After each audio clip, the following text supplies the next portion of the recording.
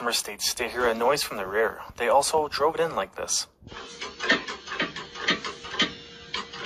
This customer just bought this 2017 Chevrolet Malibu and brought it in as the airbag light just turned on. The technician found every single airbag to be blown and every SRS connector was cut and had a resistor wired in to try and track the airbag module. He also mentioned the dealership will most likely be buying back this vehicle from the customer as they had no clue about any of this and nothing was shown on the Carfax when the vehicle was initially traded in.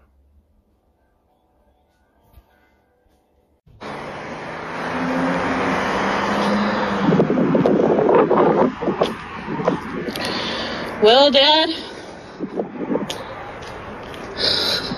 sucks.